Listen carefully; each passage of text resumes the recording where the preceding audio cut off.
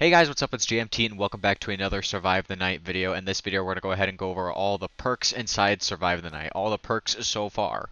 I was going to go ahead and just look at all the perks in the shop and all the perks in my inventory and kind of decipher everything there, but I wanted to make it easier, so I went ahead and made a Google Doc and I listed all the perks in the game and all the perks from the Merchant Surplus shop in the game as well. This way we can kind of condense everything into a way that's easier to understand because a lot of these perks are the same, except they got some words in front of it, like significantly or dramatically and stuff like that. So we're going to go ahead and try to go over all these words, what they mean, and which ones are actually better than the other ones the perks in this game can be overwhelming. Okay, when I first joined the game and saw all the perks, I was like, which ones do I even choose? Which ones do I use? Okay, and I'm going to be completely honest with you. People choose perks based on what gear they use or what they are better at in the game.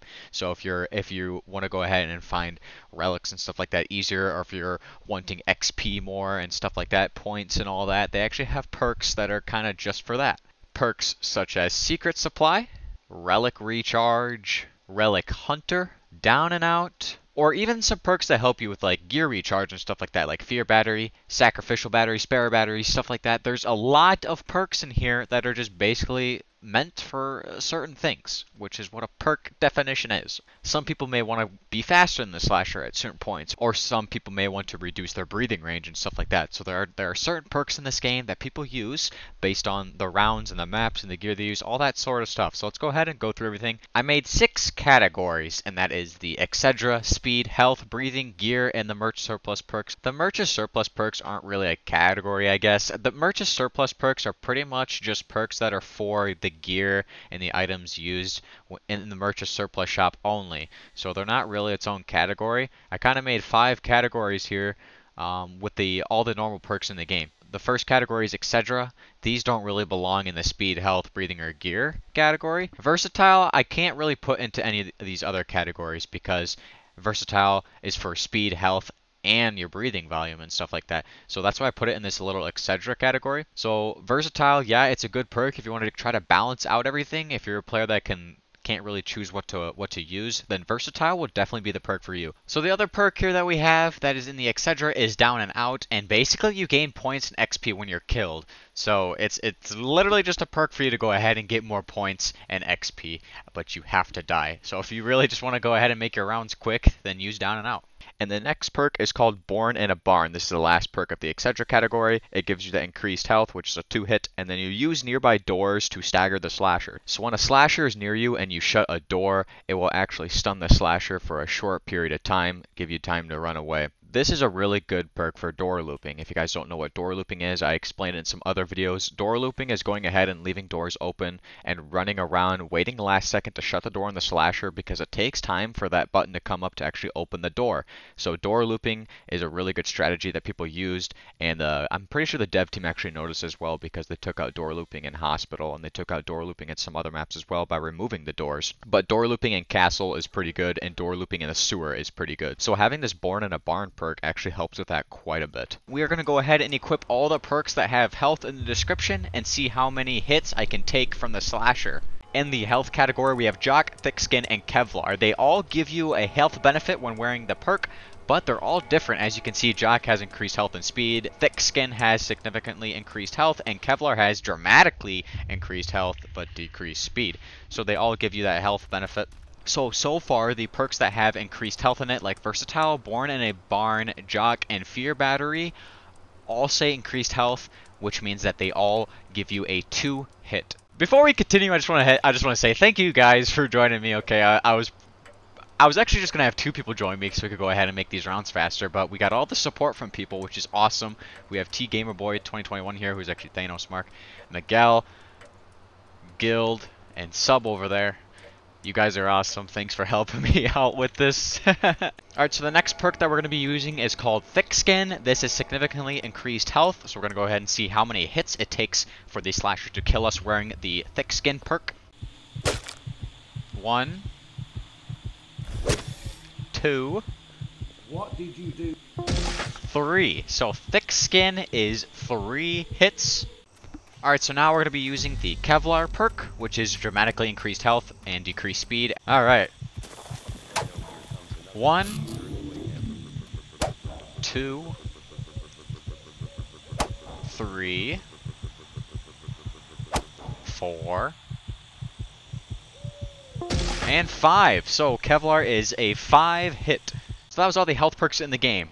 Again, when your perk says increased health, that is still a 2 hit. It doesn't really increase your health too much. Now, the speed perks are pretty self explanatory, okay? Relic Hunter does have increased speed. It doesn't increase your speed too much. Like I said before, the word increase doesn't really do too much with these perks in this game. It, it, it just changes it just a little bit, okay? It's just kind of there so it doesn't make the perks kind of the same because there are quite a bit of perks that could be the same if it didn't have like increased speed or increased health and stuff like that. So some of these perks just give you a little bit more of that benefit from others, but Relic Hunter doesn't really fall into the uh, speed category too much because it actually helps you uh, get more rewards from relics that you pick up. The two main speed perks are actually Leg Man and Adrenaline. Adrenaline is my most favorite one. Adrenaline is the fastest perk in the game, and it's actually the perk that I use the most. You can actually outrun all the survivors, and you can outrun the slasher almost, okay? Your speed bonus actually decays when the slasher gets near you. It's pretty easy to outrun the slasher and to out-trick the slasher with this Adrenaline perk, but if he does end up catching up to you and gets close enough to you,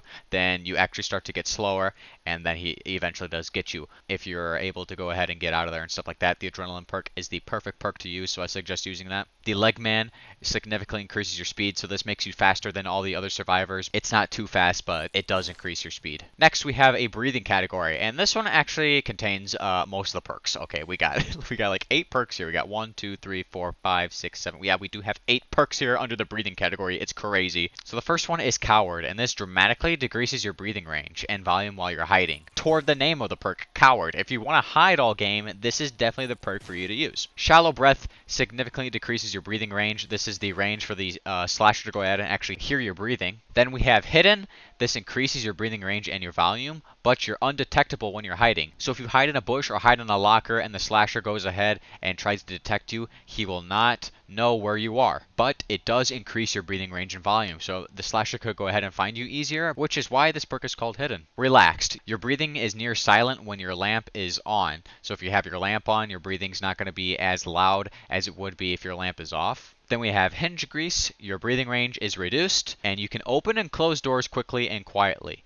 So hinge grease isn't really too much for breathing. It's actually more on opening and closing your doors quickly and quietly. So you can shut your doors more if you're going to go ahead and uh, try to escape the slasher, but you do it quietly as well, so he can't really hear you too much, which is why I'm guessing they added the reduced breathing range to this perk. Then we have Elusive, which is reduced breathing range and increased speed. Then we have Iron Lungs, significantly decrease your breathing volume. So this is actually the amount of noise that your character makes while breathing. This significantly goes down, so it makes the slasher harder to go ahead and actually find you where you're at. And then we have Stealth, which is decreased breathing range and volume. So a lot of people when they're using a breathing perk, they actually use Stealth or Coward Stealth is actually a pretty good one. This decreases the range that the slasher could hear you and the volume as well. So that is a, uh, how loud your breathing sound actually makes. So out of the breathing category, if I were to go ahead and actually use one of these perks, I would either use Coward, so I just sit there the entire game, but he could barely hear me. I'd probably use Hidden or Stealth, one of those three perks. Obviously, people have different opinions on perks. Okay, not there's not a right or wrong answer, um, but those are kind of just opinion based, and those are the ones that I choose if I were to choose a breathing perk. And then finally, we have Gear. So these five perks are actually towards your gear and the recharge rate of it. So spare batteries. This is increased gear recharge while your lamp is on. So while your lamp is on, the gear that you have equipped, let's say if you have the hammer on and you just built a barricade, if you turn your lamp on, this will actually help you recharge your hammer a lot faster. Then we have Fear Battery, increase speed and health. Again, not too much. It's kind of just there to go ahead and add additional little benefits. This massively increases your gear recharge when you're near the slasher. This helps out quite a bit if you have the camera or the shotgun and stuff like that. So after you use the shotgun and the camera and you're trying to run away, since you're going to be near the slasher just a little bit, if he goes ahead and continues following you, your gear recharges are going to be increased massively. So you can go ahead and use that shotgun or camera again to try to get away from him. Then we have Sacrificial Battery, which massively increases your gear recharge when survivors die. This is a very interesting one, okay? There's a reason it's called Sacrificial, okay? If you got people dying, I would probably use this perk if I had the hammer equipped or something like that. If I were to go ahead and build a barricade and then I just sit there the entire game, maybe some people would die here and there and it would actually recharge my hammer and then I could go ahead and build another barricade. It's kind of weird to say that, but that's the point of that perk. Then we have Relic Recharge, which significantly increases your gear recharge when finding a relic. And then we have Secret Supply. This dramatically increases your gear recharge while you're hiding. So again, if I were to use the hammer perk and build a barricade and then I go ahead and hide in a locker or a bush, my gear recharge will dramatically increase. And there really isn't no time to tell on how these actually increase your gear recharge, but if I were to go ahead and use what the other perks have been going with, Secret Supply would probably recharge your gear way faster than the Relic Recharge would, or the Sacrificial Battery. I'm guessing the Relic Recharge would then increase your gear recharge more than the Sacrificial Battery as well, if I were to rank those. So dramatically, and then significantly, and then massively. And that's just on the scale from math, by the way. So if you guys are actually good with math, the terms in math with dramatically and significantly, dramatically actually ranks higher than significantly significantly. So that's why I'm telling these perks apart, and that's how it actually is with the health perks as well. So I'm basing it off of that. And then we have the Murch surplus perks. Again, these don't really have any explanation. They actually describe it all within the perk uh, description because these perks are basically just for the gear in the merchant surplus shop. So there really isn't any special connection to any of that. If you really want to go ahead and spend your tokens on it, which I think you, I think I would. Okay, the micro rounds goes great with the revolver, by the way. That's one of the better perks, I think. So yeah, those were all the perks inside of the game. Hopefully more perks will come in the near future, which I'm guessing they will, especially in the Merchant Surplus shop as well. And I can't wait to go ahead and get all those in the Merchant Surplus shop so I can go ahead and show you guys that in a video as well. But let me know down in the comments below what perks you guys think work together, like what gear goes with what perk, or what perk you guys want to use, and what your guys' playstyle is with a certain perk. I want to know all that in the description. Let me know, okay? I will gladly read it, and I'm so happy to go ahead and comment what, on my opinion on it, because I love learning about this game. So, and, and you guys in the comment section do help with that. And if you like this video, be sure to leave a like, and thank you for watching.